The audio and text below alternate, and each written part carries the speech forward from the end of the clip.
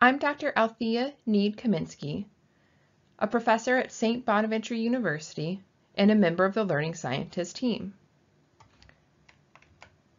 We use science to figure out the best way to learn.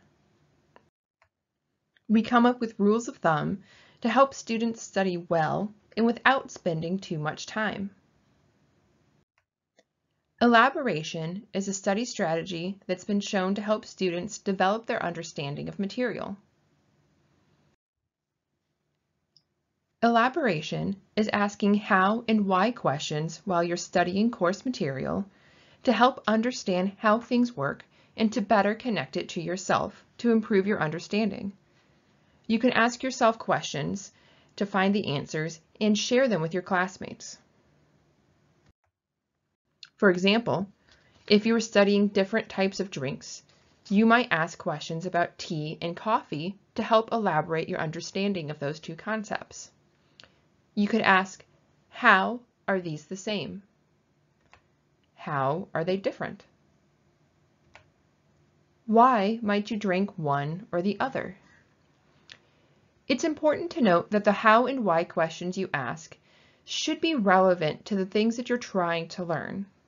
So in this example, you might ask, why is one cup clear and one cup white? But that question may not be as relevant to what you're trying to learn. So be careful to make sure that you're asking the right questions. Sometimes the questions are just as important as the answers.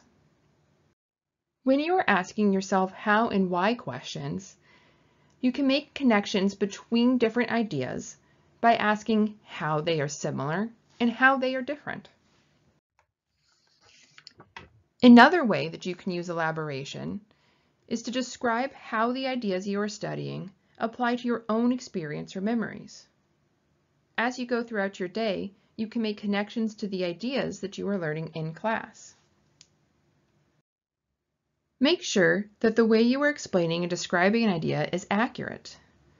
Always consult your course materials or ask your teacher to double check and make sure that your explanations are accurate. Once you know that your explanations are accurate, now you can work towards describing and explaining without looking at your class materials. This is a form of retrieval practice, which is bringing your information to mind, and that can make your elaboration extra effective.